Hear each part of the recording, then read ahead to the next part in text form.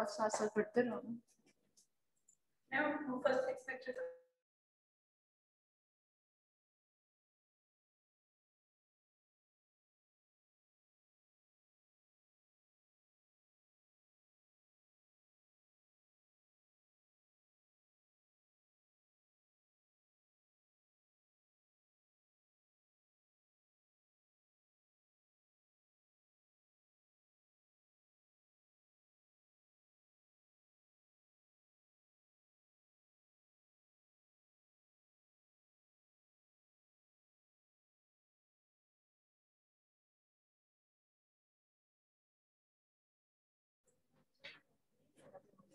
Fifteen students बाकी सारे online हाँ जी ऑनलाइन वालों?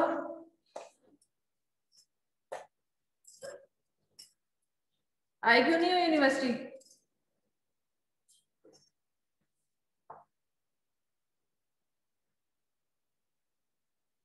ये वो लोग हैं जिनका पढ़ने का भी दिल नहीं करता, सोए रहते हैं।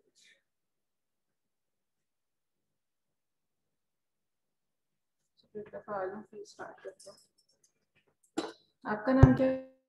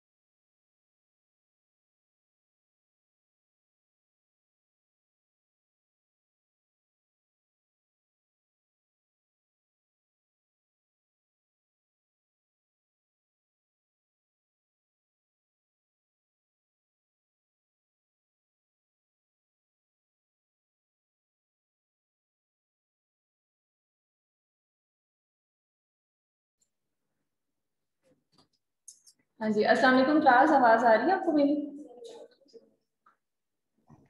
यस मैम आ रही हैं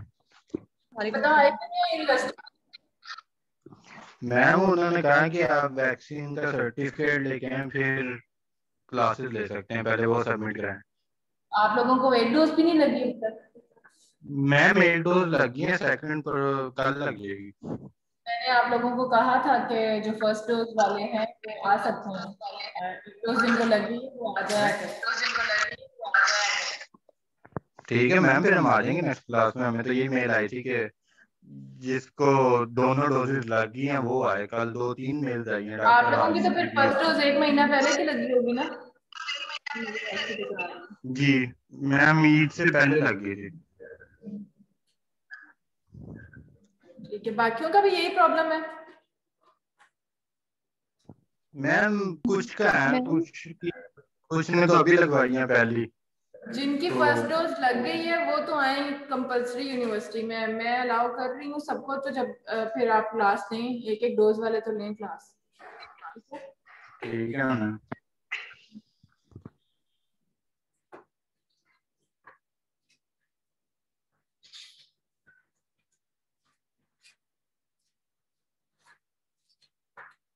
अच्छा कुछ स्टूडेंट्स मेरे पास यहाँ पे अभी क्लास में भी आए हैं तो आवाज़ इधर उधर गई क्योंकि मैं बोर्ड पे भी कभी जाऊँगी कभी इधर जाऊँगी एक्सप्लेन करने के लिए तो अब थोड़ा सा देखना पड़ेगा ठीक है? क्योंकि ऑनलाइन भी साथ है और ये भी ऑन कैंपस में भी हैं बच्चे। मैम ऑन कैंपस में कितने बच्चे आए हुए हैं? अभी तो चार ही हैं फ़िलहाल। क्लास में तो अभी चार ही आए हैं, लेकिन अभी देखो क्योंकि एक तो सुबह सुबह का लेक्चर जो होता है ना उस वक्त तो कम ही बच्चे आते हैं लेट आते हैं। दूसरा ये वही कंफ्यूजन थी सब में कि फ़र्स्ट रोज है, हमारे अभी सेकंड नहीं है तो हम आए ना आए अलाउ कर रहे हैं, नहीं कर रहे हैं। कोशिश करो कि फ़र्स्ट रोज जिनकी है, वो अपना वो कार्ड मिलता है ना एक्सपो वाले तो कार्ड देते हैं। तो वो कार्ड लेके आप लोग आओ।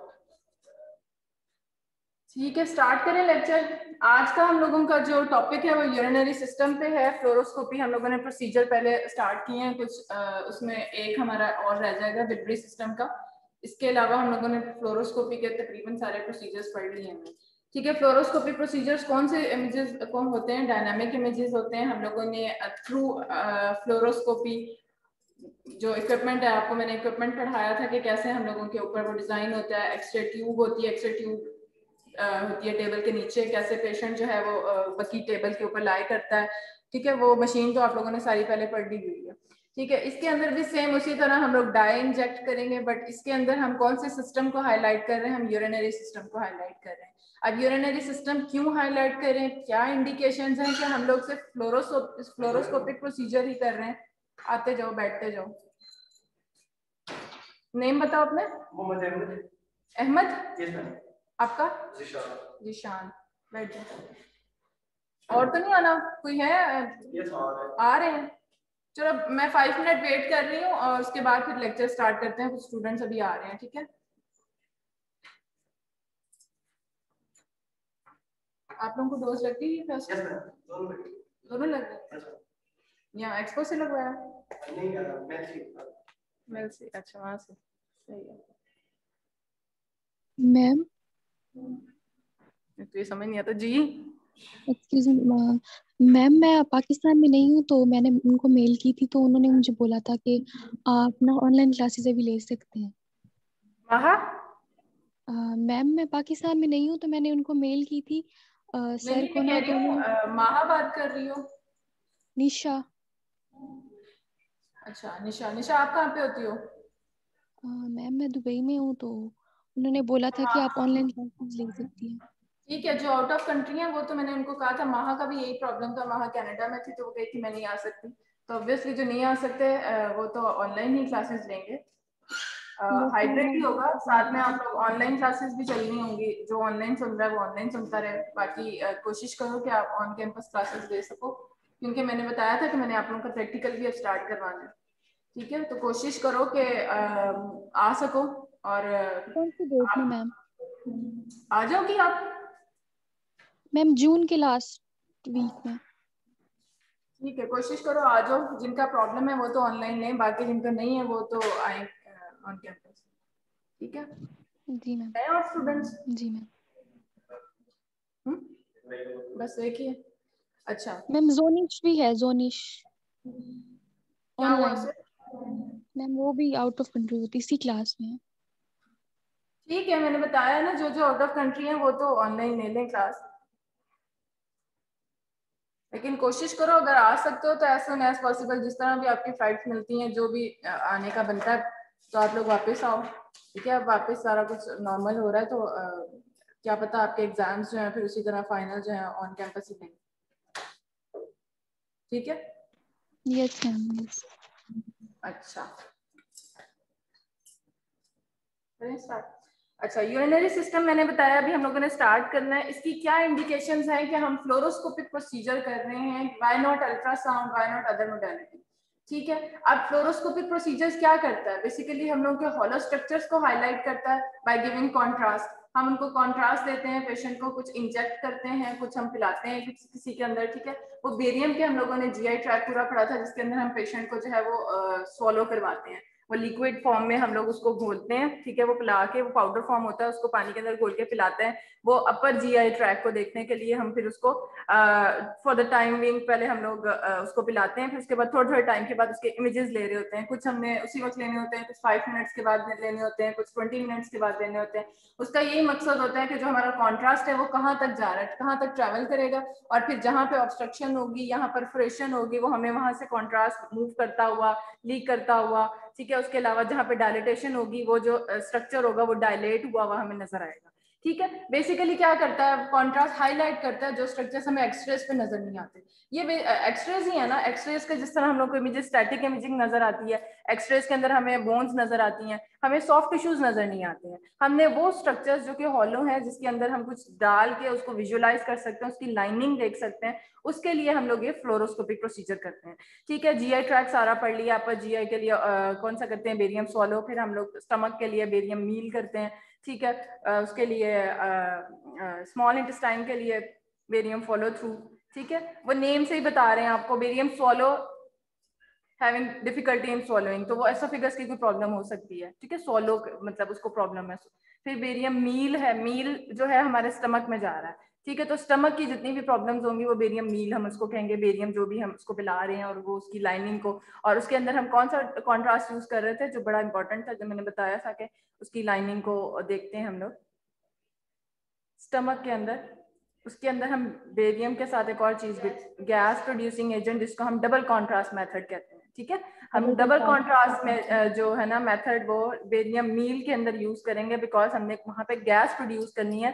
वो किस किस लिए करते हैं ताकि जो स्टमक की लाइनिंग है, वो हमारे पास आउटलाइन हो जाए और स्टमक की जिस तरह की लाइनिंग होगी प्रॉपर हम लोगों को स्टमक की ना लाइनिंग पढ़नी होती है उसके अंदर। ठीक है, उसके अंदर उसकी वॉल किस तरह की हो गई है। ठीक है, अगर कोई अल्सरेशन है तो वो हमें नज़र आया उसके अंदर प्रॉपर ठीक तो उसके लिए हम डबल कॉन्ट्रास्ट मेथड यूज़ करते हैं और डबल कॉन्ट्रास्ट क्या होता है? अलॉन्ग विद बेरियम हम गैस प्रोड्यूसिंग एजेंट जो है वो देते हैं। तो कौन सा है जो यूज़ करते हैं? इनो ठीक है, पहले इनो यूज़ करते थे, अब जो है डिफरेंट आते हैं डिफरेंट कंपनीज़ वाले ऑफ़र करते हैं कि ये आप गैस प्रोड्यूसिंग एजेंट यूज़ कर लो। तो पहले क्या होता था कि इनो जो होती थी, वो हम लोग पेशेंट को उसके साथ जो है वो पिला देते होते थे तो वो उस तरह होता था। अच्छा फिर उसके बाद क्या मील हो गया, फिर barium follow through follow through follow through से बता रहा है कि हम लोगों ने स्मॉल इंटेस्टाइन को पूरी फॉलो थ्रू जो है, जितनी भी लंबी हमारे पास स्मॉल इंटेस्टाइन है, उसको हम लोगों ने, अब लंबी है, उसका टाइम भी उतना ही होगा। ठीक है थोड़े थोड़े टाइम के बाद हमने इमेजेस लेने हैं। डेट मीन्स कि बेरियम जो है वो थोड़े थोड़े टाइम के बाद आगे आगे ट्रेवल करता जाएगा। उसके साथ साथ हमने इमेजेस लेते रहना थोड़ा टाइम के लिए हम उसको वो करते हैं डायनामिक इमेजिंग हमें पता है कि लाइव इमेजिंग हो रही है। लेकिन हम लोग कंटिन्यूसली उसे देख सकते हैं क्योंकि हमारे पास रेडिएशन बहुत ज़्यादा हो जाती है। पता है ना आपको कि आप बहुत ज़्यादा रेडिएशन दे रहे हो पेशेंट को आयनाइजिंग रेडिएशन है। हम थोड़े टाइम के लिए उसको डायनामिक देखते हैं देन स्टॉप कर देते हैं। फिर नेक्स्ट जो है कुछ टाइम के बाद उसको देखते हैं। ठीक? इसी तरह फिर उसके बाद यहाँ तक बेरियम फॉलो थ्रू तक जो है वो पेशेंट को पिलाया जाता था। फिर हम लार्ज इंटेस्टाइन के लिए थ्रू रेक्टम जो है इंजेक्ट करते हैं कॉन्ट्रास्ट को और वो क्या करता है? Large intestine rectum sigmoid colon जो है उसको सारा हाईलाइट करता है उनकी जितनी भी प्रॉब्लम्स होती हैं वो हम लोग उसके अंदर बेरियम इनेमा में देते हैं, ठीक है? इनेमा जो है वो थ्रू रेक्टम इंजेक्ट किया जाता है। बाकी के अंदर जो है ऑरली हम पेशेंट को फिर हमने दूसरा यूरिनरी सॉरी रिप्रोडक्टिव सिस्टम पढ़ा था। उसके अंदर हम लोगों ने गायनी के स्ट्रक्चर्स को क्या मेनली हम लोग का अल्ट्रासाउंड के ऊपर भी यूट्रस नज़र आ जाता है ओवरीज नज़र आती है। क्या चीज़ है जो अल्ट्रासाउंड पर नज़र नहीं आती? डेट इज़ फिलोपियन ट्यूब ठीक है, वो बिल्कुल थ्रेड लाइक होती हैं और ज़्यादा पैथोलॉजीज इनफर्टिलिटी वगैरह जितनी भी चांसेस जो होते हैं ना, वो हमारे इस फिलोपियन ट्यूब की ही पैथोलॉजीज होती हैं उनकी। तो वो हमें अल्ट्रासाउंड पर नज़र नहीं आते, बिल्कुल थ्रेड लाइक होता है। उसको अब ये भी हॉलो ट्यूब है। जितनी भी हॉलो ट्यूब्स है, हमने उनको हाईलाइट करना है ना। तो उसके लिए क्या है? फिर हम लोग इंजेक्ट करते हैं कॉन्ट्रास्ट और वो थ्रू यूट्रस जो है वो उस फिलोपियन ट्यूब को हाईलाइट करेगा। और हमने क्या देखना है? हमने नॉर्मल देखने के लिए उसमें स्पिलिज देखना है। मीन्स कि जो कॉन्ट्रास्ट है दोनों ट्यूब्स में जाके हमें बाहर निकलता हुआ फील हो दैट इज़ नॉर्मल कोई ब्लॉकेज नहीं है। अगर उसमें से कॉन्ट्रास्ट बाहर नहीं आ रहा दैट मीन्स उसकी ट्यूब्स दोनों ब्लॉक है। समटाइम्स एक ब्लॉक होती है समटाइम्स दोनों ब्लॉक हो जाती हैं। डिपेंड्स ठीक है? समटाइम्स दोनों ही नॉर्मल होती हैं पेशेंट को कोई और पैथोलॉजी हो सकती है, कोई और कॉज हो सकता है उसकी इनफर्टिलिटी का। लेकिन मोस्ट प्रोबेबली इनफर्टिलिटी जो है ना, वो due to the blockage of the tube ज़्यादातर होती है। तो ये टेस्ट फिर उसको कहते हैं हिस्टेरोसर्पेंजियोग्राफी करवा के आओ। एक्सरे इमेजिंग है विद कॉन्ट्रास्ट अब यूरिनरी सिस्टम आज का हमारा टॉपिक है, इसके अंदर क्या है? हमने, हम अल्ट्रासाउंड के ऊपर क्यों नहीं करते? हम अल्ट्रासाउंड के ऊपर देख सकते हैं ना? अल्ट्रासाउंड के ऊपर हमें किडनी नज़र आती है प्रॉपर ठीक, उसके बाद हमारे पास पेल्विक सिस्टम है सारा, जो कैलिसिस है कैलिसिस से पेल्विस में आया, फिर यूरेटर में आया, आगे फिर यूरिनरी ब्लैडर एंड यूरेथ्रा ठीक है, ये हमारा पूरा यूरिनरी ट्रैक है इस तरह। तो हमें अल्ट्रासाउंड भी तो कर सकते हैं ना इसके लिए। स्टोन्स नज़र आते हैं ठीक लेकिन समटाइम्स हमें डायनेमिक इमेजिंग चाहिए होती है। डायनेमिक मीन्स कि हम लोगों ने उसका फ़ंक्शन देखना होता है। हम ड्यूरिंग स्कैन तो उसको कर रहे हैं लेकिन हमें ये नहीं पता कि वो मेच्योरेशन उसको प्रॉपर हो रही है कि नहीं हो रही है। ठीक है बच्चों के अंदर खासतौर पर जो एम एमसीयूजी जिसे कहते हैं मेचुरेशन सिस्टोग्राफी जिस, जिसके अंदर होता है वो ड्यूरिंग छोटे बच्चों में बहुत ज़्यादा इन फ्रीक्वेंसी उनमें बहुत ज़्यादा होती है कि पेशेंट बच्चे जो होते हैं ना वो यूरिन को होल्ड नहीं कर पाते उनको बहुत ज़्यादा प्रॉब्लम होती है। ठीक है, उसके अंदर रिफ्लक्स हो जाता है। रिफ्लक्स की वजह से जो ये प्रॉब्लम आती है। उस रिफ्लक्स को देखने के लिए फिर हम लोग जो है ना, उसको इसी तरह कॉन्ट्रास्ट देते हैं ब्लैडर के अंदर, फिर उसको मेचुरेशन करवाते हैं। ड्यूरिंग स्कैन भी उसको कहते हैं, बच्चे को कहते हैं कि वो यूरिन पास करे तो हम जो है ड्यूरिंग स्कैन जो है उसको देख सकते हैं। ठीक है, इसी तरह हम लोग मेचुरेशन हमने लिक्विड वो ब्लैडर में डाला है ना। ठीक है वो भी कॉन्ट्रास्ट क्या लिक्विड ही है ना फिर उसको कहते हैं मेचुरेशन जब वो करेगा तो वो एज अ यूरिन जो है वो हमें नज़र आएगा और हमें नज़र आएगा कहीं ब्लॉकेज है यूरिथ्रा में या रिफ्लक्स है तो वो हमें प्रॉपर इसके अंदर नज़र आएगा। अदरवाइज़ हम लोग अल्ट्रासाउंड के ऊपर या उसके ऊपर हम लोग इस तरह इसको नहीं देख सकते डायनामिक ठीक है।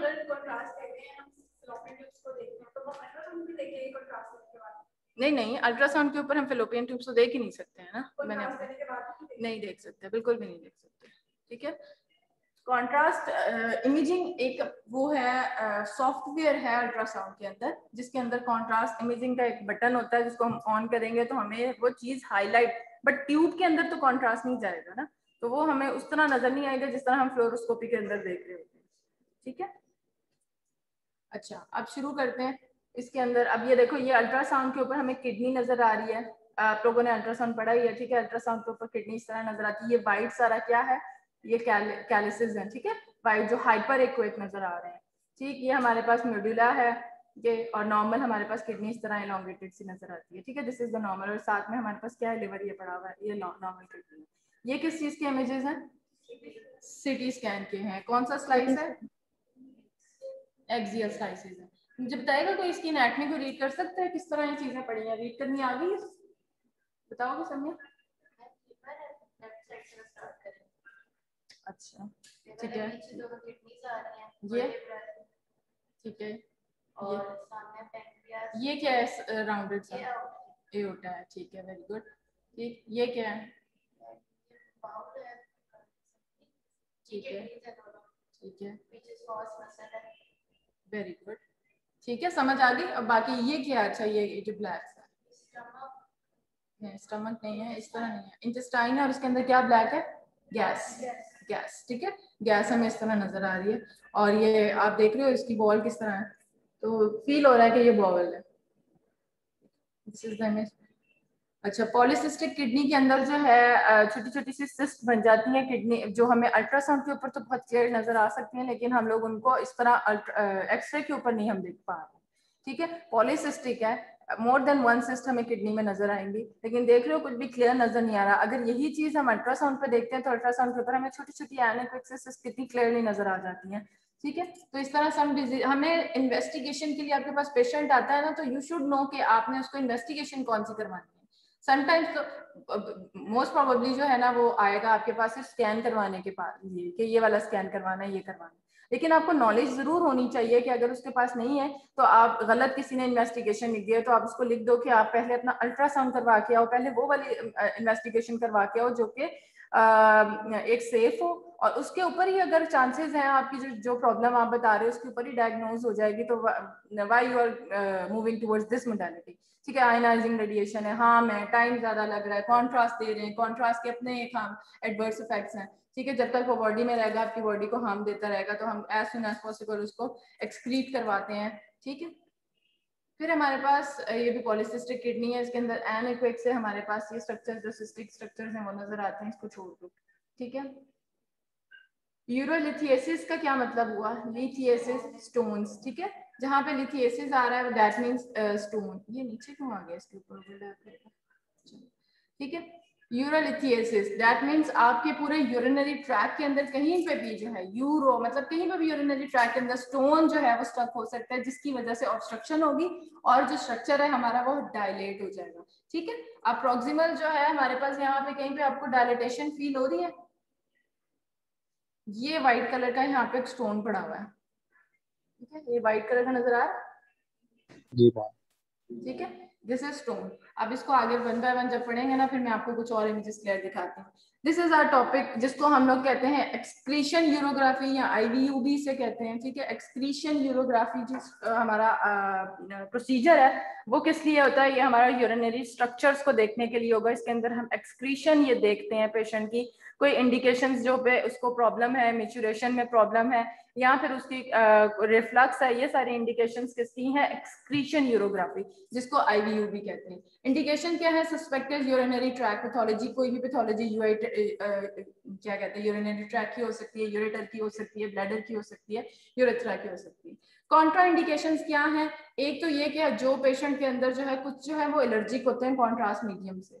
ठीक है? वो उनको हम लोगों ने टेस्ट रूल आउट करना है कि वो जो है वाटर सॉलेबल कॉन्ट्रास्ट जो मीडियम है, वो यूज़ जो है ना ना करें। ठीक है, उसमें क्या होगा? पेशेंट एलर्जिक होता है उससे। उसको एडवर्स इफ़ेक्ट हो सकता है, उसको रैश हो सकती है, उसको फ़ौरन जब भी हमने कॉन्ट्रास्ट दिया उसकी पूरी बॉडी पर खारिश शुरू हो जाएगी छोटे छोटे दाने बनना शुरू हो जाएँगे। ठीक है? तो ये हम लोगों को वो पेशेंट जो कि क्या है एलर्जिक है कॉन्ट्रास्ट एजेंट से उनको हम लोगों ने नहीं करना। दूसरा dehydration is a contraindicated in following situation renal failure myeloma and infancy पहले उसको डिहाइड्रेशन का प्रॉब्लम है तो उसके अंदर भी हम लोग ये प्रोसीजर नहीं करेंगे, ठीक है? Contrast medium high osmolar contrast medium या low osmolar following high risk group should receive क्या? लो और स्मॉलर बिकॉज़ वो पहले ही हाई रिस्क में है तो उनको कोशिश करनी है कि हम लोगों ने लो और स्मॉलर कॉन्ट्रास्ट मीडियम देना है, ठीक? इन्फेंट्स या small children and elderly renal और कार्डियक फेलियर ठीक poorly hydrated patient patient with diabetes ये सारे जो है कॉन्ट्राइंडिकेशन हैं इन के अंदर कोशिश करनी है पुअर हाइड्रेटेड पेशेंट या रीनर फेलियर के अंदर या पेशेंट विद डायबिटीज़ हम कोशिश करें ये वाला प्रोसीजर ना करें। हम कोई और इन्वेस्टिगेशन करवा लें उसको रूल आउट करने के लिए कि उसको ये वाली पैथोलॉजी है। ठीक है? अच्छा डोज कितनी रखते हैं? अडल्ट्स के अंदर जी? मैम डिहाइड्रेशन वाला पॉइंट क्लियर करवा दें। डिहाइड्रेटेड पेशेंट है, पहले ही आपको पता है उसके अंदर पानी की इतनी सारा कमी हुई है, हम लोगों ने उसको कॉन्ट्रास्ट देना है। ठीक है कॉन्ट्रास्ट जो होता है वो हाइड्रेटेड पेशेंट हो, तभी हम लोग उसको कॉन्ट्रास्ट पहले ही वो बेचारे के अंदर इतनी ज़्यादा डिहाइड्रेशन है। ठीक है, वो उसके अंदर जो है ना एक कॉन्ट्रा इंडिकेशन है कि हम डिहाइड्रेटेड पेशेंट के अंदर जो है वो कॉन्ट्रास्ट मीडियम या ये वाला प्रोसीजर जो है जिसके अंदर कॉन्ट्रास्ट दे रहे हैं, वो नहीं देंगे। ठीक है अच्छा डोज हम कितनी रखेंगे? अडल्ट के अंदर जो है 50 एम होगा और पीड्स के अंदर जो है 1 एम पर बॉडी वेट ठीक है? इसका 1 के जी अगर बॉडी वेट है तो 1 M L to K G to M L depending upon body weight ठीक है? हम उसकी जो डोज है वो पीड्स के अंदर जो है वो इस तरह अडल्ट के अंदर 50 एम जो है वो हम कॉन्ट्रास्ट देंगे। अच्छा पेशेंट प्रेपरेशन इसके अंदर रिक्वायर्ड है और क्यों? इसके अंदर डिहाइड्रेशन नेसेसरी नहीं है। जो हम अभी तो बात की है कि हमें जो है वो पेशेंट जो है, एक तो पहली बात है वो हाइड्रेटेड हो। पानी उसने अच्छे से पिया हो, ठीक है, और उसको डिहाइड्रेशन की कोई प्रॉब्लम ना हो। फिर हम लोग N P O nothing per oral for five hours ठीक है। इसके क्या है फास्टिंग उसको रिक्वायर्ड है कि क्यों? ये फास्टिंग क्यों रिक्वायर्ड है? एक्सरेज करने हैं हमने। एबडोमिन बोवल गैस के लिए, ठीक है? तो एनपीओ एक दूसरा और हमें कोई भी उसके अंदर पार्टिकल्स भी नज़र आ सकते हैं फ़ूड पार्टिकल्स भी। तो उसके लिए भी हमें उसकी फास्टिंग करवाते हैं एटलीस्ट फाइव आवर्स की, ठीक है? ये प्रोसीजर जब भी करवाते हैं ना तो कोशिश यही करते हैं कि पेशेंट को कहा जाए कि रात का खाने के बाद आपने कुछ नहीं खाना और सुबह बगैर नाश्ता किया आना है ठीक है? आसानी है ये क्योंकि पेशेंट को समझाना ना कि पाँच घंटे तक आपने कुछ नहीं खाना और ये वो इस तरह, वो पेशेंट जो है ना समझ जो है ना, उसको कमी आती होती है। उसके कहो कि बस रात का खाना खाना है अपना सुबह जो है नाश्ता नहीं करना अपने हार मुँह आना है और अपना टेस्ट करवाना है।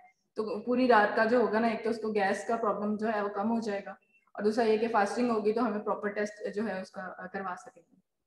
डिहाइड्रेशन नॉट नेसेसरी अच्छा रूटीन बाउल प्रेपरेशन वही हम लोग उसको अगर आ, है आ, उसने खाना खाया हुआ है या फिर हम उसको कह के उसको गैस प्रॉब्लम बहुत ज़्यादा आ सकती है तो उसमें हम उसको कौन सी मेडिसिन देंगे ताकि उसका जो बाउल है वो साफ़ हो सके और वो जो है उसको हम लोग मिथाइल प्री ये कौन सी है? प्रेगनेंसी, सोलोन, जो भी मेडिसिन है, ये वाली दे के उसको जो है छह टैबलेट्स होती हैं छोटी छोटी सी।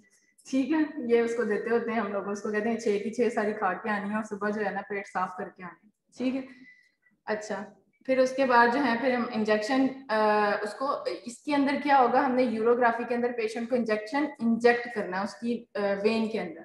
कौन सी वेन है आगे हम लोग इसके पढ़ लेते हैं कि प्रिपरेशन के अंदर जब हम पेशेंट को करेंगे। अच्छा व्हाट आर प्रीलिमिनरी फिल्म्स मैंने आपको बताया था what are preliminary films contrast से पहले जो हम लोग कॉन्ट्रास्ट से पहले जो हम लोग एक दफ़ा स्कैन लेते हैं ना प्लेन वो होता है। ठीक है। ठीक है उसमें क्या होता है कि हम कॉन्ट्रास्ट देने से पहले एक स्टैटिक एक्सरेज लेते हैं एक तरह से। ठीक है एब्डोमेन का एक्सरे ले लिया और उसके अंदर हम लोगों को नज़र आ रहा है अभी कुछ भी चीज़ नहीं हमें नज़र आ रही है कोई उसका यूरेटर या कोई हमें हाईलाइट की हुई चीज़ नज़र नहीं आ रही है। ये हम लोग क्यों लेते हैं? प्रीलिमिनरी फ़िल्म क्यों रिक्वायर्ड होते हैं?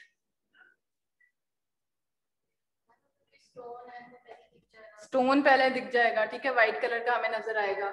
ठीक, उसके अलावा अगर कोई ऑब्स्ट्रक्शन है, जो कि बाद में हमें नज़र आएगी, पहले हमें ऑब्स्ट्रक्शन डायलेटेड सी नज़र आ सकती है वहाँ पे, ठीक है? फ्लूड है। यूरिन को उसने ऑब्स्ट्रक्ट किया हुआ तो हमें डायलेटेड यूरेटर्स नज़र आ सकते हैं। ठीक है? तो प्रीलिमिनरी फ़िल्म इसके अंदर रिक्वायर्ड है। कुछ हमने किए थे ना जीआई ट्रैक के अंदर जीआई ट्रैक के अंदर हम लोगों को नहीं रिक्वायर्ड होते किस, किसी किसके अंदर प्रीलिमिनरी फ़िल्म रिक्वायर्ड है किसी के अंदर नहीं है। तो इसके अंदर हम लोगों को लेनी ज़रूरी होती है। अच्छा करेंगे किस तरह? पेशेंट की पोजिशनिंग कैसे करेंगे? पेशेंट को सीधा लेटाएँगे ठीक है? Supine full length AP of the abdomen in inspiration The lower border of the cassette is at the level of pubic symphysis and the X-ray beam is centered at the midline at the level of iliac crest. ठीक है patient को सीधा लेटाया table के ऊपर जो cassette है वो patient के नीचे होती है उसकी पोजीशनिंग कैसे करनी है जो लोअर बॉर्डर है वो जो यहाँ से खुद फील करना है जो हमारा पेल्विस है ठीक है पेल्विक बोन ठीक है पेल्विक बोन के ऊपर उसका लोअर बॉर्डर आए, ठीक, यहाँ पे, और उसका जो सिम्फिसिस प्यूबिस है सेंटर में बिल्कुल, यहाँ पे, उसकी जो सेंटर रे जो बनती है, जो प्लस साइन जो बनता है, उसको बिल्कुल सेंटर में आप लोगों ने उसको पोजीशन करनी है, उसकी एक्सरे ट्यूब की, ठीक है, ताकि हमारा लोअर बॉर्डर से भी ना कट हो लोअर बॉर्डर हमें पता है कि हम लोगों ने पेल्विक को भी इंक्लूड करना है, हमने यूरिनरी ब्लैडर देखना है उसके अंदर और ऊपर बड़ी कैसेट यूज़ करेंगे इसके अंदर। और किडनी किडनी के अंदर पूरा यूरिनरी ट्रैक और यूरेटर और वो पूरा उसके अंदर ड्रेन होता है यूरिनरी ब्लैडर के अंदर। एंड देन यूरेथ्रा हमें पूरा ट्रैक नज़र आना चाहिए। तो पोजीशनिंग इज़ वेरी इंपॉर्टेंट कि आपका कोई एक भी पार्ट जो है वहाँ से कट ना हो रहा हो केसिट को अपने इस तरह उसको रखना है पेशेंट के नीचे। ठीक है टेक्निक क्या है? कौन सी वेन के अंदर हम इंजेक्ट करेंगे? This is important median antecubital vein is the preferred site for injection यहाँ बाजू पे जो मीडियन एंटी क्यूबिटल वेन है, ये हमारे जो इस जगह पे होती है, ठीक? यहाँ पे हम इंजेक्ट करेंगे पेशेंट को और उसके बाद नाइन गेज की नीडल यूज़ करेंगे। और क्यों ये वाली गेज ये गेज जो बड़ा होता है या छोटा होता है? इसका आगे से जो नीडल का नाइनटीन गेज बड़ा होता है। क्यों? क्योंकि हम लोगों ने इसको बोलस की फॉर्म में इसको इंजेक्शन व्हाट इज़ बोलस एक साथ एक साथ एकदम से इंजेक्ट करना है, ठीक है? आहिस्ता आहिस्ता एक होता है ना स्लोली स्लोली हमें उसको इंजेक्ट करना है, वैसे नहीं करना। हमने ज़्यादा सारा कॉन्ट्रास्ट दिया ठीक? उसके पूरी जो इंजेक्शन के अंदर पूरा इंजेक्शन भरा और उसके बाद एक साथ ही एकदम एकदम से उसको इंजेक्ट कर देंगे वो एक बोल बोलस की फॉर्म में आगे जाएगा, ठीक है? Injection is given rapidly rapidly as a bolus to maximise the density of the nephrogram ठीक? तो what is bolus you should know bolus is rapid injection जिसके अंदर हम एक जो इंजेक्शन जब देंगे तो रैपिड इंजेक्शन की वजह से हमारे पास वो पूरा जो कॉन्ट्रास्ट है, वो एक बॉल की फॉर्म में बोलस की फॉर्म में वो रैपिडली आगे की तरफ़ को मूव करेगा। ठीक है? फ़िल्म हम इसके अंदर किस तरह किस तरह लेंगे? नंबर वन इमीडिएट फ़िल्म इधर हमने कॉन्ट्रास्ट दिया फॉरन से हमने विद इन फिफ्टीन टू मतलब टेन टू फिफ्टीन सेकेंड्स के अंदर अंदर पहली फ़िल्म ले ली इमीडिएट फ़िल्म जो लेंगे फिर फाइव मिनट फ़िल्म ठीक है? और उसके बाद हम लोग क्या करेंगे? Compression is contraindicated in हम लोग इसके अंदर जब पेशेंट की पोजीशनिंग करते हैं ना तो वहाँ पे आपको एक्सरे ट्यूब वो जो बना होता है ना, वो एक स्टिक सी पड़ी होती है। हमने तो अपने उधर जब फातमा में में होते थे तो एक लकड़ी की स्टिक सी पड़ी होती थी। हम उसको क्योंकि उस लकड़ी का तो इमेज नहीं आएगा तो कोशिश करते थे हम एबडोमन को थोड़ा सा कंप्रेस कर दें, ठीक है? कुछ होती हैं बेल्ट मिलती हैं, वहाँ पे साथ ही, देसी कामों के लिए तो वो डिफरेंट हॉस्पिटल में आपको बड़ी चीज़ें मिलेंगी, वो ऐसे ऐसे कंप्रेस कर रहे होंगे। और वो पता क्या चीज़ होती थी? वो जिससे हांडी नहीं बनाते होते थे जिसको डोई कहते होते हैं, लकड़ी की, उन्होंने हॉस्पिटल वालों ने वो रखी हुई थी, ठीक है? उससे कंप्रेस करते होते थे कि एबडोमन को थोड़ा सा लंबा होता था, पास खड़े होकर एप्रन पहना होता था, और उससे यूँ यूँ एबडोमन को प्रेस कर करके जो है ना इमेज लेते होते थे, ठीक है? तो अच्छे हॉस्पिटल्स में ऑब्वियसली वहाँ पे आपको बेल्ट मिलेंगी और प्रॉपर वो था गवर्नमेंट हॉस्पिटल में चले जाओ तो फिर ऐसी चीज़ें ही मिलेंगी आपको, ठीक है? तो वो कंप्रेशन डिवाइसेस होती हैं कुछ भी तो हमारे पाकिस्तान में तो कुछ भी देसी चीज़ है कुछ भी कर लो, ठीक है? तो कंप्रेशन इज़ रिक्वायर्ड वो भी क्या करेगा? एक तो हमारा जिस तरह हम लोगों ने मेमोग्राफी uh, के अंदर पढ़ा था ना कंप्रेशन के क्या एडवांटेजेस होते हैं? इसी तरह इस इसमें भी जो है कंप्रेशन उसी तरह हम देंगे आ, लेकिन वो तो एक कंप्लीट डिवाइस होती है जो ओवरऑल कंप्रेस कर देती है। ठीक? इसके अंदर भी हम कोशिश करते हैं कि एबडोमन को एटलीस्ट कंप्रेस कर सके हमें यूनिफॉर्म जो है स्ट्रक्चर्स मिले हमें रेडिएशन कम से कम मिले ठीक है? और जो स्ट्रक्चर्स हमें ओवरलैप हो रहे होते हैं वो थोड़े से ठीक हो जाए ठीक है? ओवरलैप जो हो रहे थे ड्यू टू कंप्रेशन वो थोड़े से पीछे हो जाएँगे। तीसरा ये कि गैस ठीक है? इसमें भी हम गैस को थोड़ा सा रिड्यूस कर सकते हैं। जो सेंटर में गैस आ रही थी, अगर थोड़ी बहुत गैस होगी तो वो जो है, वो उस स्पेसिफिक एरिया जो हमने डायग्नोस करना है स्पेसिफिक एरिया जो है, उससे जो है वो खत्म हो जाएगी। ठीक है? तो कंप्रेशन इज़ रिक्वायर्ड फिर कंप्रेशन कॉन्ट्रा इंडिकेटेड किसके अंदर है? हमें पता है कि जो उसको कोई सर्जरी हुई रिसेंट कोई एबडोमिनल सर्जरी हुई है, उसके अंदर कंप्रेशन नहीं देंगे। ठीक है? फिर उसके बाद रीनल ट्रॉमा है लार्ज एबडोमिनल मैस है या five minute film shows already distended calyces ये जो चार पॉइंट्स है ना these are the contraindication कि हम इनके अंदर जो है कंप्रेशन नहीं देंगे सर्जरी और मैथ्स वगैरह अगर है तो। अच्छा फिर उसके बाद फाइव मिनट तक होगी, एक इमीजिएट फ़िल्म ले ली, एक फाइव मिनट के बाद फ़िल्म ले ली, एक फिफ्टीन मिनट के बाद फिर हमने कॉन्ट्रास्ट देने के फिफ्टीन मिनट के बाद दोबारा से एक फ़िल्म ले ली। उसके अंदर AP of the renal area compression is release अब 15 मिनट तक, अब हमने इस स्पेसिफिक टाइम के ऊपर कंप्रेशन रिलीज़ कर देना अब इसके अंदर 5 मिनट पे कंप्रेशन देना है, लेकिन 5 मिनट के बाद कंप्रेशन नहीं देना। 15 मिनट की जो इमेज होगी, वो हम लोगों ने बगैर कंप्रेशन के देनी है। ठीक है? अच्छा compression is release when satisfactory demonstration of the pelvicalyceal system has been achieve सबसे पहले वो हमारे किडनी में जाएगा सारा कॉन्ट्रास्ट किडनी की कैलिसिस सिस्टम जो है, ठीक है, वो उसको हाईलाइट कर देगा। ठीक, जब उसने हाईलाइट कर दिया, अब यूरेटर में आगे जा रहा है, देन हम उनको कंप्रेशन देने की उसमें ज़रूरत नहीं है। अब यूरेटर से वो आराम से ट्रेवल कर जाएगा, ठीक है? फिर रिलीज़ फ़िल्म क्या होगा? Supine AP abdomen to show whole urinary tract अब 15 मिनट के बाद हमने एक इमेज लेना है, उसके अंदर क्या होगा? पूरा का पूरा यूरिनरी ट्रैक अब एंड तक हमें जो है वो कॉन्ट्रास्ट चला गया और उसके अंदर हमें हाईलाइट हो जाएगा पूरा स्ट्रक्चर कैसे यूरेटर, कैसे यूरिनरी ब्लैडर के अंदर वो कॉन्ट्रास्ट जो है वो जा रहा है। पोस्ट मिचुरेशन फ़िल्म अब पेशेंट के ब्लैडर में चला गया कॉन्ट्रास्ट अब हमने क्या करना है? वहाँ तक इमेजेस ले लिए. अब वहाँ पे कोई पैथोलॉजी होगी, वो तो हम फ़िल्म के ऊपर रेट करेंगे. कहीं पे डायलिटेशन है, कहीं पे ऑब्स्ट्रक्शन है, कहीं पे स्टोन नज़र आ रहा है. कुछ भी है, ठीक है? तो ब्लैडर तक चला गया. कॉन्ट्रास्ट हमारा. ठीक है? उसके बाद क्या करना है? पेशेंट को कहना है कि अब आपने यूरिन पास करके आना ठीक? फिर हम जो उसकी फ़िल्म है, वो पोस्ट मिचुरेशन फ़िल्म उसको कहते हैं कि आपने मेचुरेशन के बाद कुछ फिल्म्स देखनी है अगर उसके अंदर कोई रेजिड्यू होगा रेजिड्यू होगा अगर पेशेंट का तो वो हम लोग उसकी वॉल्यूम ले लेते होते हैं। वो तो हम जब रिपोर्टिंग में जाएँगे रिपोर्टिंग वाले जो है ना वो फिर किस तरह हम इसको रिपोर्ट करते होते हैं वो सारी चीज़ें। लेकिन आपका क्या काम है? आप लोगों ने उसकी फ़िल्म जो है क्यों रिक्वायर्ड होती है? आपने रेजिड्यू देखना होता है कि पेशेंट के अंदर रह भी गया है यूरिन समटाइम्स पेशेंट वही फील करता है कि मैं यूरिन सारा पास कर रहा हूँ लेकिन मुझे ऐसा फील होता है कि यूरिन अभी भी है लेकिन पास नहीं कर पा रहा। ठीक है मे बी कोई आगे ऑब्स्ट्रक्शन हो यूरिथ्रा में या कोई ऐसा प्रॉब्लम हो तो वो फिर हम उसको रूल आउट करते हैं इस चीज़ के अंदर। तो पोस्ट मेचुरेशन फ़िल्म लेनी भी ज़रूरी होती है। उसके अंदर हम एम्प्टी ब्लैडर को देखते हैं। इसके अंदर अगर यूरिन होगा तो वो हमें नज़र आएगा। एडिशनल फ़िल्म इफ़ रिक्वायर्ड अगर कोई पैथोलॉजी हमें मिल गई है उसके अंदर तो फिर हम लोग ये तो हमने कुछ एपी या सुपाइन फ़िल्म कुछ ली थी। उसके अंदर क्या होगा? एडिशनल फ़िल्म के अंदर कि हम लोगों को कुछ ऑब्लीग इमेजेस रिक्वायर्ड होंगे, अगर कोई पैथोलॉजी मिल गई है। ठीक है, कोई ओवरलैप कर रही है। ठीक है, सामने मसल्स आ गए हैं कुछ ऐसे तो फिर हम लोग उसके 35 डिग्री कुछ ओब्लिक इमेजेस या एडिशनल इमेजेस हैं इन केस कि हमें कोई ऐसी पैथोलॉजी मिल गई ठीक है? अच्छा फिर प्रॉन एब्डोमन ये भी सारे एडिशनल फ़िल्म है। प्रॉन में क्या होगा पेशेंट को उल्टा लिटा के फिर हम लोग जो उसकी इमेजेस लेते हैं, उसके पूरे एब्डोमन को। एंड देन डिलेड इमेजेस जो है वो कोई आधे घंटे, पौने घंटे 45 मिनट तक हम एक दो डिलेड इमेजेस भी लेते हैं। पूरा घंटा लगता है पेशेंट के इस प्रोसीजर के अंदर। पेशेंट को एक इमेजेस लेते हैं, फिर हम बिठा देते हैं वेटिंग रूम में, फिर उसको बुलाते हैं कि आपने पाँच मिनट के बाद आना है, आपने पंद्रह मिनट के बाद आना है आपने।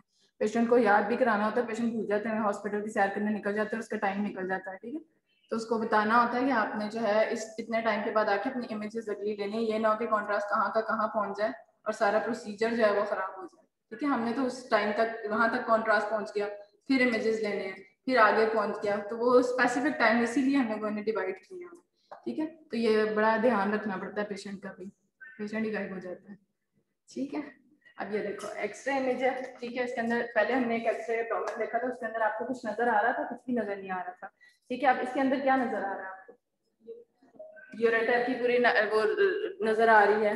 ठीक है? अच्छा एक साइड नज़र आ रही है दूसरी नहीं नज़र आ रही।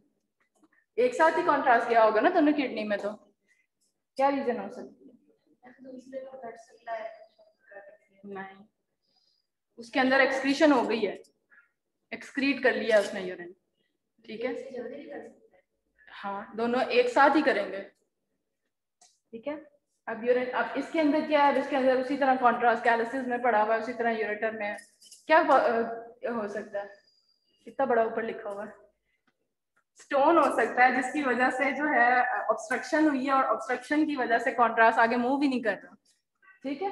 तो एक एक साइड जो है, उसके अंदर से कॉन्ट्रास्ट सारा जो है, वो एक्सक्रीट हो गया हुआ है और वो यूरिनरी ब्लैडर में चला गया। हमें उस साइड की नज़र ही नहीं आ रहा।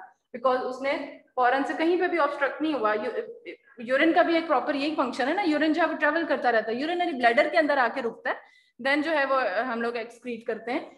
अदरवाइज़ जो है, वो कैलसिस से बना यूरिन वहाँ पे फॉर्मेशन हुई उसकी। यूरेटर से हमारे यूरिनरी ब्लैडर में आ गया। ठीक है? ये कहीं पे रुकता नहीं है। अगर आपको देखो कैलसिस भी डायलेटेड नज़र आ रहे हैं। ठीक है फिर आगे यूरेटर के अंदर भी आपको यूरिन नज़र आ रहा है ठीक है? डैट मीन्स उसके कहीं पे स्टोन है जिसकी वजह से जो है आगे जो है वो जा ही नहीं रहा. एंड ड्यू टू स्टोन जो है इस तरह हमें नज़र आ रहा है उसको क्या कहते हैं? Urolithiasis there is stone in the urinary tract ठीक है? कहीं स्टोन नज़र आ रहा है? इसके अंदर? जी मैम जी मैम नज़र आ रहा है। ठीक है ये इतना बड़ा व्हाइट कलर का स्टोन ठीक? अब ये देखो इस स्टोन यहाँ पे था उसकी वजह से कॉन्ट्रास्ट दिया। देख रहे हो डायलिटेशन कैलिसिस में? ठीक है इस तरह पहले डायलेट हो जाएगा ये। यहाँ पे भी ये स्टोन यहाँ पे भी एक पड़ा हुआ है ठीक है? ये यहाँ पे इसने डायलिटेशन कर दिया बैक पे। ठीक आगे जो है कम जा रहा है कॉन्ट्रास्ट ये किसके इमेजेस है? अल्ट्रासाउंड है। अल्ट्रासाउंड के इमेजेस है। स्टोन्स नज़र आ रहे हैं? क्या स्टोन का शेडो है। शेडोज हैं। वेरी गुड ठीक है। स्टोन का तीन क्राइटेरियाज क्या क्या होते हैं? एक ब्राइट शो होगा उसकी शैडो होंगी। और शैडो कास्ट करता है। हाइपर इको होगा। यस तीन पॉइंट्स हो गए। Hyper equate that means echogenic number two mobile that means वो मूव कर सकता है स्टोन कहीं स्टक नहीं हुआ हुआ। ठीक है? ये खास तौर पे हम गॉल ब्लैडर के अंदर देख सकते हैं कि इजीली वो मूव कर जाता है पेशेंट की पोजीशनिंग करेंगे स्टोन कहीं का कहीं पहुँच जाएगा तो उसको हम डिफ्रेंशिएट करते हैं पॉलिप्स के साथ। पॉलिप वॉल के साथ ही अटैच होते हैं। जो स्टोन होंगे, वो पेशेंट की पोजिशनिंग के साथ ही मूव कर जाएँगे। ठीक है? फिर उसके बाद क्या है? तीसरा point major point posterior shadow ठीक है? अगर शेडो नहीं है तो दैट मीन्स वो स्टोन नहीं है, वो कुछ और वहाँ पे फैट हो सकती है व्हाइट कलर की हाइपर एक्वेजेनिक अगर कोई स्टोन व्हाइट कलर के एक्ोजेनिक हमें छोटा सा फोकाई नज़र आ रहा है along with the shadowing confirm stone ठीक है? अगर बहुत छोटा स्टोन है शेडो नज़र नहीं आ रहा, उसके लिए मैंने एक पॉइंट बताया शायद याद हो किसी को, उसके लिए क्या करते हैं? जो अल्ट्रासाउंड पढ़ रहे हैं उसे, उनको तो याद होगा। नहीं नहीं अगर किडनी के अंदर कोई छोटा सा स्टोन है इतना छोटा है कि उसके शेडो ही नहीं नज़र आ रहा लेकिन पेशेंट कंप्लेन कर रहा है कि उसको पेन है ये वो स्टोन बहुत छोटा है इतना छोटा है कि उसकी शेडो नहीं हम देख पा रहे हैं ठीक है व्हाइट कलर का छोटा सा नज़र आ रहा है आप कंफर्म नहीं कर सकते कि स्टोन है क्या है मैंने एक पॉइंट बताया था चलो आप लोग टाइम हो गया बड़ा जो अल्ट्रासाउंड पढ़ रहे हैं मुझसे अभी पढ़ रहे हैं अल्ट्रासाउंड वाले वो मुझे जवाब दें। मैम कैलकुलाई बोलते हैं। मैम डॉपलर करेंगे डॉपलर में वो शाइनी हो जाएगा। वेरी गुड ठीक है? उसके ऊपर क्या करेंगे? हम डॉपलर लगाएँगे। ठीक है? डॉपलर डालते हैं। डॉपलर डालने की वजह से हमें वहाँ पे ट्विंकलिंग इफ़ेक्ट मिलेगा। डेट मीन्स वहाँ पे जिस तरह स्टार ब्लिंक करता है ना तो वो रेड जो जिस तरह कलर होता है डॉपलर का छोटा सा स्टार वहाँ पे हमें लाइट ऐसे ऐसे ब्लिंक होती है फील हो रही होगी। That means there is the stone twinkling effect on Doppler confirm stone small stone ठीक है? अच्छा. This is calcinosis calcinosis name से बता रहा है। क्या हो सकता है? माइक्रोकैल्सिफिकेशन कैल्सिफिकेशंस हो सकती है ना? ठीक है तो इसका कैल, कैलिसिस देखो इसके। आपको वाइट नज़र आ रहे हैं ये? ये ये ये पूरा yes, ये ये देखो ये जी देखो दिस इज़ कैल्सिफिकेशन ठीक है? तो ये इस तरह नज़र आएगी इसके ऊपर। अच्छा ये इतना बड़ा सा स्टोन नज़र आ रहा है ब्लैडर के अंदर? अब सोचने वाली बात है इतना बड़ा स्टोन आया कहाँ से? फिर अल्ट्रासाउंड वाले। जवाब दो। इतना बड़ा स्टोन किडनी से तो ट्रेवल करके नहीं आ सकता। अगर आया भी हो तो उसने यूरेटर में फंस जाना। ठीक है यूरेटर में फंसेगा इतनी डायलिटेशन होगी किडनी मैं जरा अल्ट्रासाउंड वालों से इसका जवाब ले लूँ। बताओ, अभी हम लोगों ने पढ़ा यूरिनरी ब्लैडर पढ़ा था। दो किस्म के स्टोन्स होते हैं ब्लैडर के अंदर। नहीं याद? इसके अंदर हमने पढ़े थे एक प्राइमरी और एक सेकेंडरी अगर अल्ट्रासाउंड वालों को याद हो तो। प्राइमरी का क्या मतलब होता है? जो उसी जगह के स्टोन्स हुए ठीक है? ड्यू टू यूटीआई इन्फेक्शन था ठीक है? और इतना ज़्यादा, इतने टाइम से यूरिन जो है वहाँ पे स्टैटिक रहा है, उससे इन्फेक्शन हुई है और इन्फेक्शन की वजह से वो स्टोन बन सकता है वहाँ पे। दिस इज़ प्राइमरी स्टोन और सेकेंडरी कौन से थे? सेकेंडरी नाम से प्राइमरी तो इनके हो गए ना। सेकेंडरी कहाँ के होंगे? ऑब्वियसली वो ट्रेवल करके आए होंगे। ठीक है? वो किडनी के हो सकते हैं। किडनी में बने स्टोन और उसके बाद वो यूरेटर के थ्रू ट्रेवल करके हमारे यूरिनरी ब्लैडर के अंदर आ सकते हैं। ठीक है? तो वो दोज वर सेकेंडरी जो कि ट्रेवल करके आएँगे और ये जो है ये इतना बड़ा स्टोन है ये मुझे नहीं लगता कि वहाँ से ट्रेवल करके यहाँ तक आ सकेगा। अगर वो किडनी का स्टोन होगा तो वो या तो पेल्विक के अंदर ही पी यू जे जंक्शन जिसे कहते हैं पेल्विक यूरेटरी जंक्शन वहाँ पे चांस होते हैं कि स्टोन वहाँ पे स्टक हो जाए। ठीक है दूसरा जंक्शन कौन सा होता है? ठीक है। जिसे कहते हैं। ठीक है उसके अंदर क्या होता है? ब्लैडर और जो यूरेटर जहाँ से एंटर हो रहा है ब्लैडर के अंदर वो जो जंक्शन होता है वहाँ पे भी चांसेस होते हैं स्टोन के स्टक होने के। तो ये दो जंक्शन है वहाँ पे पॉसिबिलिटी है। इतना बड़ा स्टोन तो कभी भी यहाँ तक ट्रैवल करके नहीं आ सकता। देख रहे हो इतना बड़ा स्टोन है। तो ये प्राइमरी स्टोन ही ब्लैडर का हो सकता है। What are diverticulum ultrasound ma'am उभार सा शो होता है। आउट पाउचिंग ठीक है? ये तो पैथोलॉजी का क्वेश्चन है पैथोलॉजी में आपने पैथोलॉजी में पढ़ा ही होगा ना? व्हाट आर डाइवर्टिकुलम डाइवर्टिकुलम क्या होते हैं? कि आपके जो है मार्कर पड़ा था यहाँ पे? अच्छा चलो वो डाइवर्टिकुलम क्या होते हैं? कोई भी बॉल जो है बाहर की तरफ़ को जो है आउट पाउच बना दे। ठीक है? है वो उसी जगह का ही। ठीक? वो कोई आ, बाहर से कोई चीज़ उसके साथ नहीं लगी वो उसी वॉल की आउट पाउचिंग है बाहर की तरफ़ को तो उसको डायवर्टिकुलम कहते हैं। ठीक है? तो डाइवर्टिकुलोसिस भी हो सकता है, उसके अंदर क्या होगा? More than one diverticulum out pouching ठीक है? मैं इमेजेस बस दिखा रही हूँ उसके अंदर। ये अगर आप देखो तो ये मिक्की माउस का जिस तरह का कान होता है ना, ये वैसे हमें एक नज़र आ रहा है। ठीक है? तो ये ब्लैडर के अंदर ब्लैडर का क्या हो गया? डायवर्टिकुलम है। ठीक है? ये वॉल थी वॉल आके उसने बाहर की तरफ़ को एक पाउच बना दिया, फिर इधर से आगे। तो समझ लो एक बाहर को, एक थैली सी बाहर की तरफ़ को आ गई, लेकिन अटैच वो वॉल के साथ ही है। ठीक है? वो अलग से उसकी वॉल नहीं, वो बिल्कुल गोल उसके साथ अटैच नहीं उसी की आउटलाइन यूँ करके आएगा। अगर हम अल्ट्रासाउंड में उसकी इमेज देखेंगे ना तो उसकी आउटलाइन एक ही होगी जो बाहर की तरफ़ से आ रही होगी। ठीक है? तो वो जिस तरह मिकी माउस के कान होते हैं ना उसी तरह के डायवर्टिकुलम हो सकते हैं। तो मोर देन वन भी हो सकता है और एक भी। अच्छा।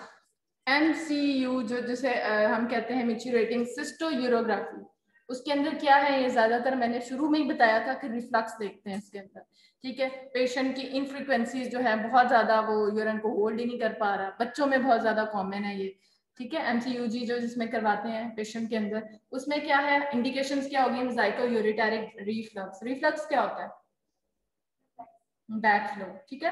फिर उसके बाद क्या हो गया? Study of the urethra during micturition अब ये भी हम लोग मेच्यूरेटिंग है नेम से ही बता रहा है कि हमने ड्यूरिंग मेच्यूरेशन जो है इसका स्कैन करना है। पेशेंट को जो है बच्चों में खास तौर पे जो होता है हम वो उसी टेबल के ऊपर एक नीचे पैड वगैरह छोटे छोटे बच्चे होते हैं बिल्कुल तो वो उनको हम कहाँ जाके जो है, वो उन्हीं पैड्स के ऊपर उसको लिटाते हैं तो उसी के ड्यूरिंग स्कैन जो है वो उसको कहते हैं बच्चे किसी तरह यूरिन पास करें, ताकि हम उसकी इमेजेस ले सकें उस तरह। ड्यूरिंग मेचुरेशन मेचुरेटिंग सिस्टोग्राफी है ना ठीक है? तो स्टडी ऑफ़ द यूरेथ्रा उसके अंदर हम यूरेथ्रा को स्टडी करते हैं कि उसके अंदर कोई ऑब्स्ट्रक्शन ना हो। Abnormalities of the bladder and and stress incontinence ठीक है? कॉन्ट्राइंडिकेशन क्या हो सकती हैं? ऑब्वियसली यूटीआई के अंदर हमने यूटीआई कहीं पे भी कोई भी होगा अडल्ट में हो या बच्चों में हो तो हम ये वाली स्टडी तो कर ही नहीं सकते because we are giving contrast ठीक है? तो पहले उसको इन्फेक्शन हुआ हुआ तो कॉन्ट्रास्ट से और भी उसको प्रॉब्लम हो सकती है। कॉन्ट्रास्ट मीडियम वही हाई स्मॉलर या फिर lower smaller contrast medium use करते हैं। ठीक है इक्विपमेंट हमें पता है फ्लोरोस्कोपी है वीडियो रिकॉर्डिंग इससे होती है।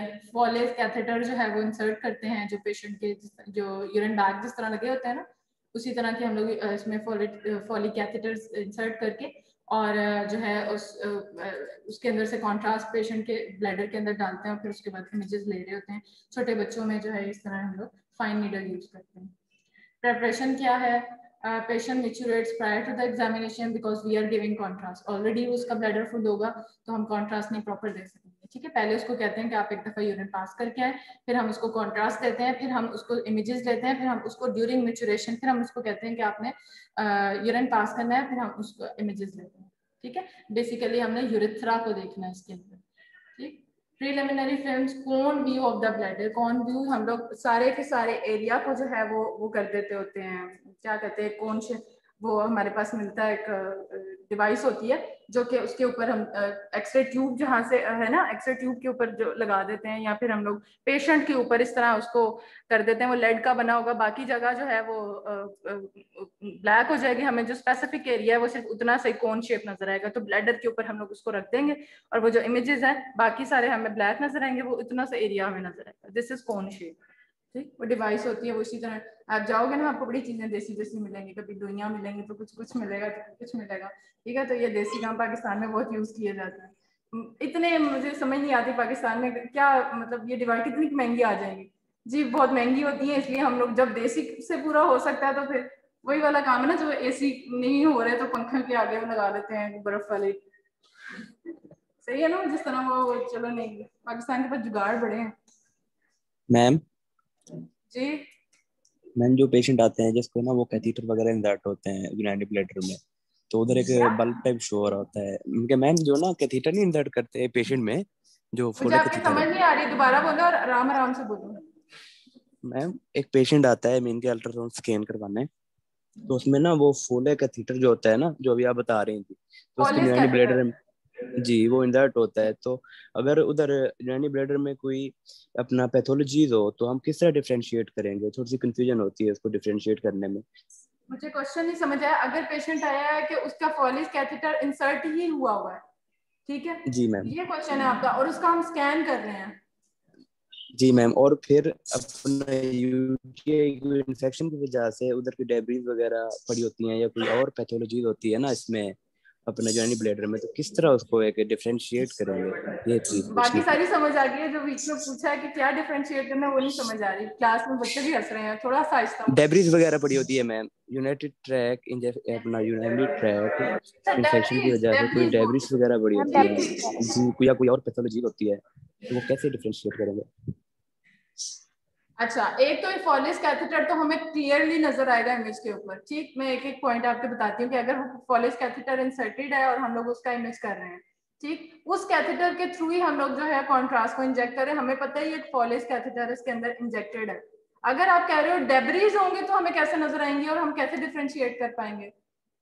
जी मैम डेबरीज क्या होती हैं? छोटे छोटे से हमें पार्टिकल्स नज़र आते हैं ना और डेबरीज हम लोगों को एक्सरेस के ऊपर नज़र नहीं आती। है वो अल्ट्रासाउंड के ऊपर हमें नज़र आते हैं।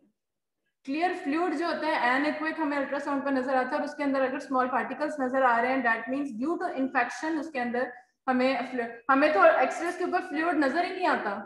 फ्लूड नज़र नहीं आ रहा तो हम लोग ये कॉन्ट्रास्ट दे रहे हैं ना, ताकि वो हमें बताएँ। वैसे अगर हम लोग पेल्विक का एक्सरे करें तो हमें इसके अंदर यूरिनरी ब्लैडर इस तरह नज़र आएगा?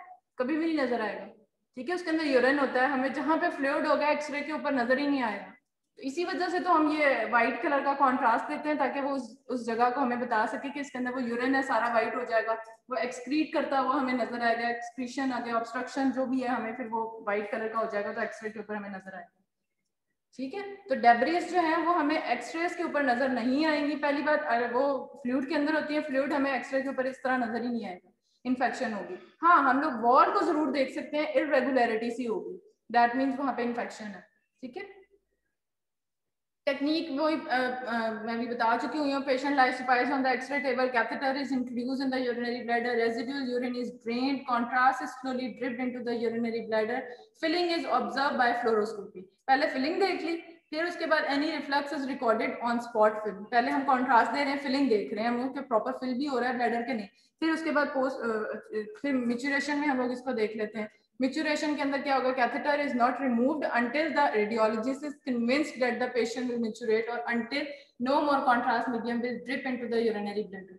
ठीक है ये सब मैं रीड कर रही हूँ आपको मैं बता चुकी हूँ कि हम लोगों ने एक दफ़ा फिलिंग देखनी है कॉन्ट्रास्ट को डालते हुए और एक दफ़ा हम लोगों ने मिचुरेशन के दौरान ठीक है? मेच्योरेशन के दौरान जो है वो हमने उसके इमेजेस लेने हैं। Older children and adult are given a urine receiver but smaller children should be allowed to micturate on to the absorbent pads जो कि मैंने भी बताया छोटे बच्चे होते हैं ना, वहीं पे वो यूरिन पास कर देते हैं which can which they can lie children can lie on the table but adult find it easier to micturate by standing erect spot films are taken during micturition ठीक है, उसी तरह हम लोग उसकी रिकॉर्डिंग करेंगे फ्लोरोस्कोपिक प्रोसीजर है, ठीक, इसमें याद करने वाला बस रीड कर लेना और वॉइड रेजिडुअल यूरिन देखते हैं हम आफ्टर द मेचुरेशन ठीक है, कि प्रॉपर उसने वॉइड किया है कि नहीं।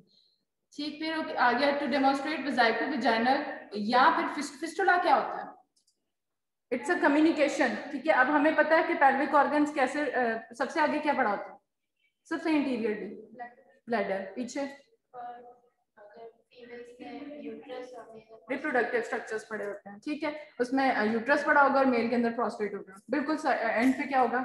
रेक्टम होगा, ठीक है? ये एंटीरियर से पोस्टीरियर हम जा रहे हैं। अगर हम लोग लेटरली देखें तो अगर हम एंटीरियर पोस्टीरियर देख रहे हैं, तब तो हमें पता ही चलेगा ओवरलैप कर रहे हैं सारे स्ट्रक्चर्स ठीक? अगर हम लेटरली देखें, तभी हमें पता चलेगा कि इसके बाद ये, अगर कोई फिस्टुला होगा तो वो हमें किस इमेज पर नज़र आएगा? वो लेटरली हमें ज़्यादा क्लियर नज़र आएगा, अगर कम्युनिकेशन है बीच में, ठीक है? ब्लैडर का वजाइना के अंदर साथ ठीक है, और वजाइना का कहीं पीछे रेक्टम के साथ, ठीक है, उसके अंदर कम्युनिकेशन है ट्यूब है डेट मीन्स कोई भी कॉन्ट्रास्ट अगर हम लोग यूरिनरी ब्लैडर में डाल रहे हैं तो वो कॉन्ट्रास्ट पीछे से फिस्टुला के थ्रू जो है वो यूट्रस में चला गया है वजाइना में चला गया ठीक है? फिर या फिर हम लोग उसके जब हिस्टेरोसल्पिंजियोग्राफी कर रहे थे तो वो रेक्टम में चला गया ठीक है? तो ये फिस्टुलास बने होते हैं कम्युनिकेशन अगर इस तरह है तो वो हमारा इमेज किसके ऊपर? लेटरल इमेज हर टाइम जब भी हमने लेटरल इमेज भी ज़रूर लेना होता है एक्सरे के अंदर दो इमेज हमेशा लेने हैं बिकॉज़ हमें एक्सरे के अंदर एक चीज़ ओवरलैप हो रही है, जो कि चीज़ हमें लेटरली ज़्यादा क्लियरली नज़र आ सकती है।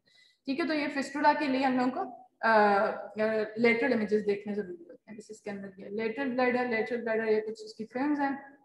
कॉम्प्लिकेशंस क्या हो सकती हैं? We all know contrast medium से एडवर्स इफ़ेक्ट हो सकते हैं। अगर पेशेंट को सिस्टाइटस है इन्फेक्शन है due to inflammation due to infection जो है वो और ज़्यादा उसको एडवर्स इफेक्ट्स हो सकते हैं। तो इनके अंदर जिसको ऑलरेडी इन्फेक्शन है, जिसको ऑलरेडी एलर्जी है, उसके अंदर हम कॉन्ट्रास्ट मीडियम नहीं देंगे। ठीक है? Due to UTI urinary tract infection acute है तो उसमें भी हम लोग कोशिश करते हैं, नहीं ट्रॉमा हो सकता है। कॉम्प्लिकेशंस बता रही हूँ कि इसके बाद अगर हमने ये स्कैन कर लिया स्कैन करने के बाद या तो पेशेंट को क्या हो सकता है, उससे कॉन्ट्रास्ट से कोई एलर्जी हो सकती है, या फिर अब हमने कैथेटर इंसर्ट किया था, उससे हम ट्रॉमा भी कर सकते हैं। ठीक है? पेशेंट को कोई वॉल रप्चर हो गई है, ठीक है, उसकी वजह से जो है उसके बाद यूटीआई हो सकता है, क्योंकि हमने एक्सटर्नली एक चीज़ जो है वो इंसर्ट की है कोई भी, ठीक है? तो उससे इन्फेक्शन हो सकता है अगर वो स्टेरलाइज ना हो प्रॉपर ठीक है? डिसयूरिया हो सकता है frequency haematuria urinary retention catheter retention ये सारी टेक्निक के बाद की कॉम्प्लिकेशंस भी है, ठीक है? इसको रिट्रोग्रेड यूरेथ्रोग्राम भी कहते हैं, जो प्रोसीजर है रीट्रो मतलब हम ऑपोजिट डायरेक्शन में जा रहे हैं ना, हम लोग कॉन्ट्रास्ट इस तरह दे रहे हैं। जो यूरिन है वो किस तरह पास करता है, उसके ऑपोजिट हम लोग उसको कॉन्ट्रास्ट दे रहे हैं। ठीक है? रीट्रोग्रेड यूरेथ्रोग्राम ये देख रहे हो? ये जा रहा है कॉन्ट्रास्ट इसके अंदर। ठीक है? ये कुछ इमेजेस हैं चार पाँच में, वो दिखा रही हूँ। This is teratoma adrenal that is tumour of adrenal gland अगर देखो तो ये किडनी के ऊपर इतना बड़ा सा हमें ये मैस नज़र आ रहा है ठीक है डुप्लेक्स कलेक्टिंग सिस्टम मैंने अल्ट्रासाउंड वालों को ही शायद पढ़ाए थे रीजनल आप लोगों को भी शायद पढ़ाए और किडनी में जब पढ़े थे हम लोगों ने, कुछ किडनी की नॉर्मल वेरिएंट्स थे दैट मीन्स कि वो लगते हम लोगों को अब नॉर्मल है, होते वो नॉर्मल ठीक है, उसके अंदर एक था double collecting system duplex collecting system जिसे कहते हैं दैट मीन्स के उसके दो यूरेटर ये देख रहे, एक ईयर एक ईयर ये जा डुप्लेक्स कलेक्टिंग सिस्टम जो यूरिन है वो कलेक्ट जो जिसने करना है यूरेटर ने वो दो है। हॉर्शू किडनी दोनों किडनी सेंटर में आगे फ्यूज कर रही हैं लोअर एंड से। तो वो शेप कैसी बनाती है? हॉर्शू किडनी ठीक है? वैसे एक इस तरफ़ पड़ी होती है किस तरफ़ पड़ी होती है बट हॉर्शू किडनी के अंदर दोनों एओटा के बिल्कुल आगे, ठीक है? पीछे एओटा है एओटा के आगे दोनों किडनी फ्यूज कर जाती हैं ठीक है? This is a normal variant but not looks normal mega ureter name नहीं बता रहा, ठीक है? There is a dilatation pelvic pelvic kidney ये भी एक कंजेनिटल एबनॉर्मेलिटी है, इसके अंदर क्या होता है? जब फीटल एज होती है बच्चा, जब उसके अंदर क्या होता है? किडनी हमारी पैल्विक में बनती है और फिर आगे जो है वो ट्रैवल करके दोनों साइड्स पे फ्रैंक्स पे चली जाती है किडनी ठीक है? लेकिन इसके अंदर क्या होता है कि एक किडनी तो वापस अपनी जगह चली जाती है, एक वहाँ पैल्विक में रह जाती है। तो अगर हम स्कैन करें तो वो हम लोगों को, वो भी नॉर्मल ही होती है नॉर्मल फ़ंक्शन ही उसका होगा। लेकिन क्या होगा कि हमें वो जो अगर हम कॉन्ट्रास्ट दे रहे हैं तो वो किडनी वैसे तो हमें अल्ट्रासाउंड पे भी नज़र आई जाती है। वो अल्ट्रासाउंड वालों को मैंने पढ़ाई थी जबकि pelvic kidney it's normal variant तो उसके अंदर क्या होगा? पेल्विस के अंदर हमें किडनी मिलेगी। कार्सिनोमा रीनल सेल कार्सिनोमा उसके अंदर हमें ऐसे इमेजेस लास्ट में बस इमेजेस दिखा देती होती हूँ कि अगर आपने स्कैन किया, आपको इस तरह के इमेजेस नज़र आ रहे हैं तो डेट मीन्स इसको ये पॉसिबिलिटी है कि ये पैथोलॉजी हो सकती है। ये सीटी का इमेज है रीनल सेल कार्सिनोमा के अंदर। ठीक है, ये एमआरआई है। और डिटेल हम लोग BPH is prostate benign prostate hypertrophy इसके अंदर जो है ना प्रोस्ट्रेट ग्लैंड जो है लार्ज हो जाता है। अल्ट्रासाउंड के ऊपर जो उसका नॉर्मल नज़र आता है, उतना उसका वॉल्यूम नहीं दिखता ठीक है, ये कुछ इमेजेस थे। तो आज का टॉपिक हमारा कंप्लीट हो गया है। ठीक है, इसके अंदर भी हम लोग यूँ हाईलाइट करेंगे पूरा यूरिनरी ट्रैक के अंदर। और कुछ इमेजेस हैं। इमेजेस बस गौर से देख लिया करो कि इमेजेस के अंदर पैथोलॉजीज नज़र कैसे आती हैं। स्टोन्स हैं तो वो किस तरह नज़र आएँगे? और आप इसी क्लास से हो? क्या नाम है आपका? क्लास खत्म हो गई अच्छा आप ऑनलाइन ले रही थी? अच्छा ठीक है। क्लास खत्म हो गई है। कोई क्वेश्चन है रिलेटेड टू दिस टॉपिक ठीक है इसके अंदर बस uh, बच्चों के अंदर। अच्छा आप चैपमैन ली है कि नहीं ली किसी ने बुक ले ली है? वेरी गुड सारे ले लो छोटी सी बुक है, मैं अगली दफ़ा लेके आऊँगी, बल्कि मेरे पास यहाँ पड़ी भी हुई है। किसी ने देखनी हुई तो आके मेरे रूम में देख ले टेबल पे पड़ी है, छोटी बुक है पॉकेट बुक है, सारी प्रोसीजर की बुक है। बहुत अच्छी डिटेल बुक है। इमेजेस आप लोग नेट से देख लिया करो, जितने भी निकाल के उसके अंदर भी हैं। लेकिन जो है, उसके अंदर हेडिंग वाइज हर प्रोसीजर को डिफाइन किया हुआ है। एक तो प्रोसीजर हम लोग ये फ्लोरो के पढ़ रहे हैं ना, उसके अलावा एमआरआई के प्रोसीजर मेमोग्राफी के सिटी के न्यूक्लियर मेडिसिन के जब आप न्यूक्लियर मेडिसिन पढ़ोगे ठीक है? न्यूक्लियर मेडिसिन बोन स्कैन वगैरह सारा कुछ उसके अंदर है तो प्लीज़ वो वाली बुक ज़रूर ले लो। एक वो वाली बुक और एक जो मैंने दूसरी बताई थी कुशोम की। ठीक है? बुक्स लेके रख। अगर सॉफ्ट कॉपी में मिलती है तो सॉफ्ट कॉपी में आप लोग जो है डाउनलोड कर लो डाउनलोडेड फॉर्म में कहीं से मिलती है तो। अच्छा मेरे पास वो जो बुशोंग है ना वो मेरे पास पड़ी हुई है सॉफ्ट कॉपी में मैं उसको ईमेल करती हूँ सबको। ताकि सॉफ्ट कॉपी में भी सबके पास होनी चाहिए। लेकिन जो चीज़ एक बुक से पढ़ने वाली है वो बुक का अपना सॉफ्ट कॉपी में कहा नीचे जाके पेज ढूंढते रहोगे। ठीक है? मैम जी।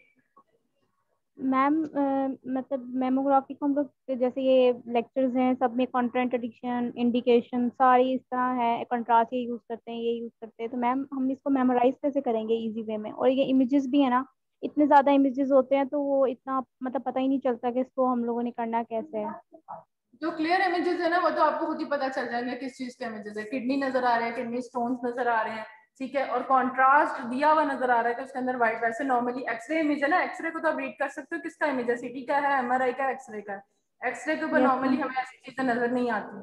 अगर व्हाइट लाइन हमें व्हाइट और स्ट्रक्चर्स नज़र आ रहे हैं डेट मीन्स कि नॉर्मली हमें अल्ट्रासाउंड पे इस तरह हॉलो स्ट्रक्चर्स नज़र नहीं आते। तो उसमें हम फिर क्या करते हैं? कॉन्ट्रास्ट जो दे के हम लोग इन स्ट्रक्चर्स को हाईलाइट कर लेते हैं। दैट मीन्स ये कोई प्रोसीजर है फ्लोरोस्कोपिक प्रोसीजर जिसमें हमने कॉन्ट्रास्ट दिया। ठीक? तो अब स्पेसिफिक उस एरिया का किडनी में दिया है दैट मीन्स हम लोग को एक्सक्रीशन यूरोग्राफी देख रहे हैं हम। ठीक है? रिप्रोडक्टिव है फोलोपियन ट्यूब्स देख रहे हैं, उसके अंदर यूरेटर देख रहे हैं। सॉरी क्या कहते हैं इसको? क्या क्या कहते हैं? रिप्रोडक्टिव फीमेल के अंदर जो है यूरेथ्रा तो इसके अंदर है ना? यूट्रस फलोपियन ट्यूब ठीक है सर्वेक्स और ये सारे जो है ना उसके पार्ट्स हैं ठीक है मेरा भी दिमाग में ठीक है वो अगर इस तरह हम लोग फ्लोरोस्कोपिक प्रोसीजर के अंदर हम फिलोपियन ट्यूब्स देख रहे हैं तो हम लोगों को क्या है कि वो हिस्टेरोसल्पिंजोग्राफी है क्या मुश्किल है इमेजेस में? तीसरा हमने क्या पढ़ा अभी हमने एक पढ़ना है बिल्डी का। तो स्ट्रक्चर्स हमें पता है कि ये लिवर है, ये किडनी है, ये ये है, ये ये और इनको हाईलाइट किया और ये एक्सरे का इमेज है तो दैट मींस फ्लोरोस्कोपिक प्रोसीजर है। बस आपने जो चीज़ें इनमें याद करनी है ना प्रोसीजर्स के अंदर number one is the indication you should know कि ये इंडिकेशन है, हम ये तभी ये वाला प्रोसीजर कर रहे हैं, हम अल्ट्रासाउंड क्यों नहीं कर रहे हैं हम एमआरआई क्यों नहीं कर रहे हैं हम और कोई स्कैन क्यों नहीं कर रहे, ठीक है? तो ये इंडिकेशन है उसको मिचुरेशन में प्रॉब्लम आ रही है उसको ये प्रॉब्लम आ रही है उसको इनफर्टिलिटी की प्रॉब्लम है। ठीक है तो इनफर्टिलिटी के लिए फिलोपियन ट्यूब तो आपको इंडिकेशन पता होनी चाहिए तो आप स्कैन बता सकते हो। दूसरा, आपको कॉन्ट्रा इंडिकेशन पता होनी चाहिए। आप ये स्कैन तो करने लगे हो आप, लेकिन जो है, आपको इसकी कॉन्ट्रा इंडिकेशन पता हो। किस, किसी के अंदर हम प्रेगनेंसी को जो है, वो कॉन्ट्रा इंडिकेशन के तौर पर पूछते होते हैं क्वेश्चन पहले हिस्ट्री देनी होती है। प्रेगनेंसी ना हो क्योंकि रेडिएशन देनी है, ये ना हो कि हम पेशेंट को इतना ज़्यादा हार्म करते हैं कि उसका फिटनेस को नुकसान हो सके। ठीक है? तो contraindication contraindication contrast और उसका प्रोसीजर जो हम पेशेंट की पोजीशनिंग कैसे कर रहे हैं। हर किसी का डिफरेंट है, कैसे आप कंफ्यूज कर देते हो हर दूसरे को? ठीक है? कॉन्ट्रास्ट मीडियम को एक एक लाइन है, बस ये याद करो कि अब डिफरेंट कंपनीज़ के डिफरेंट है, वो सिर्फ़ आपको ये पता होना चाहिए कि लो ऑस्मोलर यूज़ कर रहे हैं या हाई ऑस्मोलर यूज़ कर रहे हैं। ठीक है? तो डिफरेंट कंपनीज़ के डिफरेंट नेम्स होते हैं। ठीक है, कोई कोई, आप किसी हॉस्पिटल में जाओगे तो वो किसी और नाम से आए होंगे, किसी और हॉस्पिटल में आ जाओगे तो किसी और नाम से। वो डिफरेंट कंपनीज़ के अपने अपने नेम होते हैं but we you should know के लो ऑस्मोलर भी यूज़ कर सकते हैं, इसके अंदर हाई ऑस्मोलर भी यूज़ करते हैं। जो जो डेडिकेटेड हिस्टेरो के लिए यूज़ हो रहे हैं, वो दिस है, और जो इसके लिए यूज़ हो रहे हैं, वो दिस ठीक है? चलो ऑनलाइन वालों में तुम लोग का खत्म कर रही हूँ यहाँ से। और नेक्स्ट क्लास में आ जाना आप तुम डोजेज लगवाओ, नहीं तो मैं यहाँ पे लेके बैठ जाऊँगी सबको डोज लगाने के लिए। ठीक है